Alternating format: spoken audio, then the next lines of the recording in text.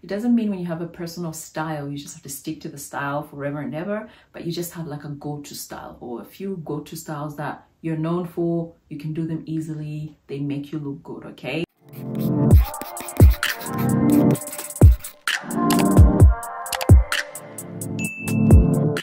Finding your personal style when it comes to natural hair.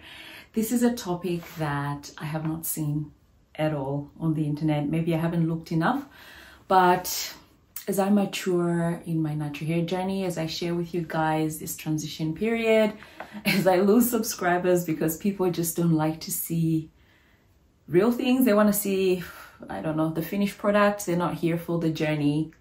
I am still going to come out here and let you know what I'm learning, share with you guys my experiences and all that because I know it's going to help someone, okay?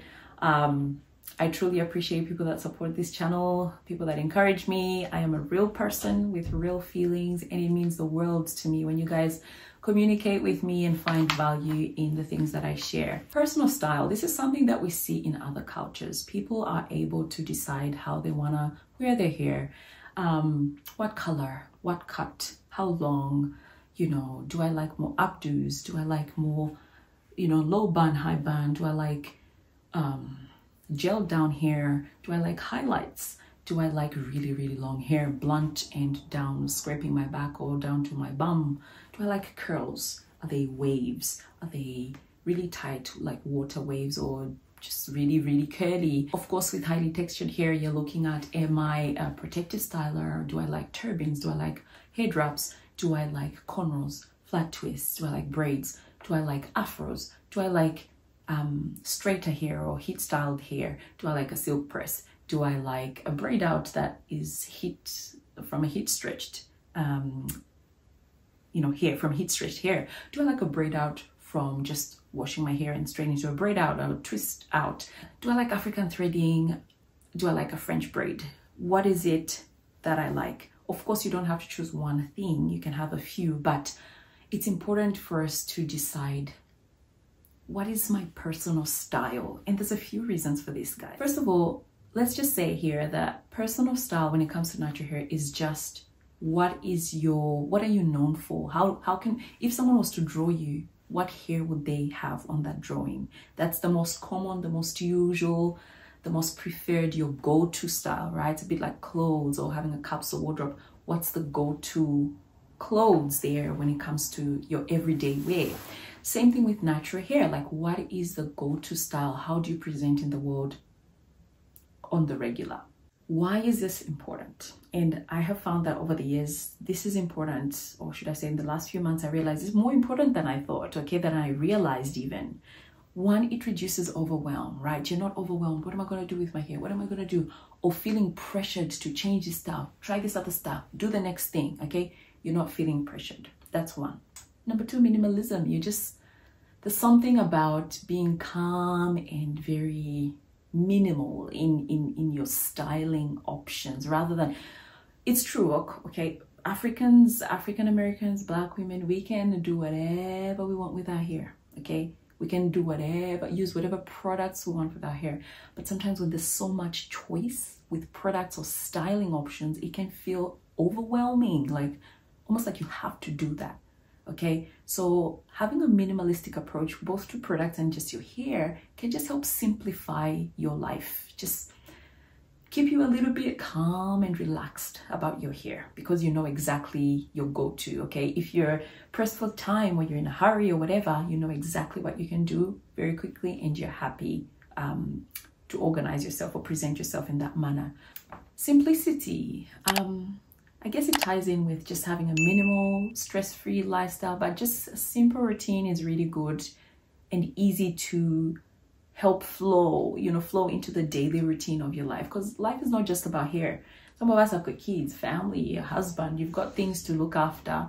Um, so hair is just a tiny part of your life. You don't want it to be taking so much time. You're trying to figure this out, style your hair for hours you just have this style, these few styles that you know you can go to and easily access and enjoy and feel good. You enjoy less breakage, less manipulation because your hair gets trained, doesn't it, to be in that style. For example, if you do this a lot, the hair kind of gets used to having this part, you know, and falling this way and that way. That's just the nature of hair. Um, so the hair can be trained or obviously not trained to just stay like that, but it's easier to just repeat the same style um, over and over again. Of course, thinning can happen if you're rough or if you don't switch up your parts, etc. We know all that, but I am just talking about just having a, a, a repeat style that you can go to over and over again. So yeah, personal style can is beneficial in all these ways, and your personal style is um, also important there because um, it gives you confidence. It reflects your personality. It um, allows you to present to the world in a manner that you're proud of. Right? You don't want to just do something quickly and see photos and you're like, oh, I didn't like that. I didn't like that. Like you're confident with how you present and you're happy with how you look. So personal style is almost like a part of, of who you are. You know, it's a representation of who you are in some sorts. So how do you find that personal style? I think there's a few things to consider when finding your personal style. The first thing is what season are you at in your life? Are you single? Are you college student? Are you a career person? Are you a new mama? Are you a wife? Are you um, what are you doing? Are you in university? Are you med- medical school internship? What season you're in will determine, first of all, what styles you can do and will help you decide what your personal style will, will be because you have an understanding of the happenings around your life. The second thing is how much time you can invest or you want to invest into your hair. If you're studying busy at uni, in the library on weekends, five days a week at uni, and you simply don't, all you want to do is sleep, then you probably don't have a lot of time to be dealing with your hair. So deciding your personal style for that season might actually, you know, need to incorporate something that doesn't take a lot of time, okay? Also just note that these styles might change depending on the season where you are. Um, but depending on what the style is, it might be able to suffice for all the seasons of your life, you know, just depends. But anyway, how much time can you put in? That's another deciding factor preferences. What do I prefer? What do I actually like? do I like to see my hair in an updo? I've already spoken at the beginning of the video. Do I like slick down hair? Do I like flowy hair? Do I like kinky twists? Do I like weaves? Do I like wigs? Do I like head wraps? Um, what what do I like? Do I like locks? What what is it that I like? And you might need to actually experiment with a few things to decide what you like. Maybe take a few photos, ask people, you know, see your family members particularly, see what you first enjoy, what you're confident in, what makes you feel good. And of course, the next one is what shapes your face. It's not something that we speak about a lot. But guys, what makes your face pop? For example, for me, this style is a winner. This style is a winner. Let me tell you, I'll show you some photos when I big chop big chop my hair my head is pretty much flat on the back and it kind of has a hump on the top here. So each time I have styles that kind of gather here, I don't really look my best. Sometimes I do, it just depends. But each time I have something that flattens this way and hips up, up at the back, it gives me a bit of balance to my head where I look somewhat normal um, with the style. So I know why this style is working because obviously it's humped here and it's shaping my face, pulling, you know, it's, you know, kind of nice and neat and pulling everything there so that everything's gathering at the back. It brings out my facial features. Obviously, you know, I don't mind that. I like the look. I also know that I look very nice in, say, maybe a braid out or a twist out that is stretched. I've done videos with those styles. You guys check them out. I love them.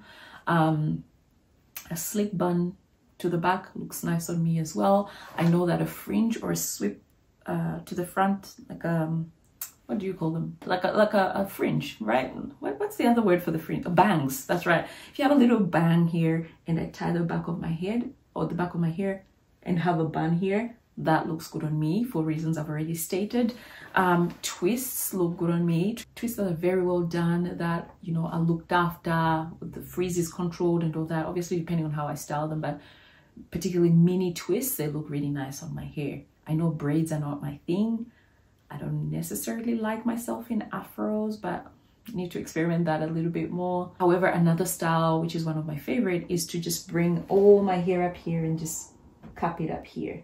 So it's almost like I'm kind of bringing the hair here where the hump is, but if I have the, the band kind of ending here, kind of conceals the flatness of the back of the head in the hump here, if you know what I mean. I'll show you some photos. And if it cascades to the front, I like that as well. So there you have it. I've got some ideas of what styles look best on me. Of course, I look good in kinky twists. Um, and I've done these, I've shared videos on this. So there you have it. I've given you some examples of how, how I decide what styles work for me and why I like them. If you're someone, say, that's got a receding hairline, for example, I would really explore bangs, um, headbands, maybe if you need to maybe conceal some hair, obviously look for really gentle material another thing that would like i know there's some people that feel like oh i've got a really big forehead and you want to try put a fringe on there. Some people want to do that. Um, some people want to don't like to be bare okay where they're pulling all their hair to the back. So they like hair that's kind of falling on their shoulders which i like as well actually. When i have my hair in a stretched blow and a stretched braid out and I have a middle part going this way. That's a beautiful style on me. I really like that one. So there you have it. Those are some ideas with regards to you choosing a personal style. I think I'm at a stage where I am really wanting to explore that and I wanted to bring this to you to see if it will be helpful to you to also determine where you're at. Some of you guys are already doing this, okay? You're on top of your game and you already knew this. You, you know, you just repeat and rotate. And I did this for a while with the mini twists that I used to retwist as a twisted natural. Um, without really knowing, but that was my personal style for that time. So yeah, guys, let me know what you think. Let me know what your personal style or styles are. It doesn't mean when you have a personal style, you just have to stick to the style forever and ever, but you just have like a go-to style or a few go-to styles that you're known for. You can do them easily. They make you look good, okay? Like you like them, you feel confident in, and they shape your face very well. All right, guys, until next time, it's Coily Diaries. Thank you.